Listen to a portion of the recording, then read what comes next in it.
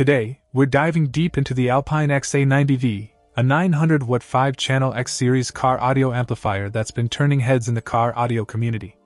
This unit is not just about power, but also about the innovation Alpine brings to its high end audio equipment. With its Class D performance, the XA90V promises efficiency and quality, making it an intriguing choice for car audio enthusiasts. Point one of the standout features of the XA90V is its Alpine ID sound quality.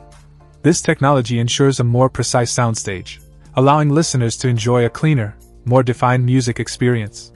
This is particularly noticeable in complex tracks where lesser amps might muddle sounds.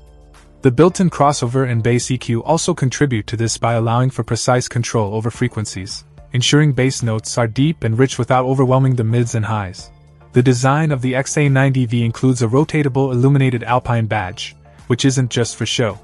This aesthetic choice allows for flexible mounting options, meaning it can fit into various car setups without compromising on visibility or style.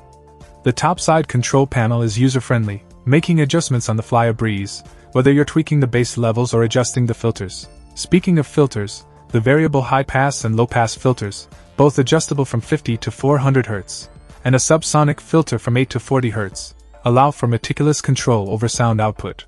Such customization is essential for tailoring the audio experience to personal tastes and the specific acoustics of a vehicle.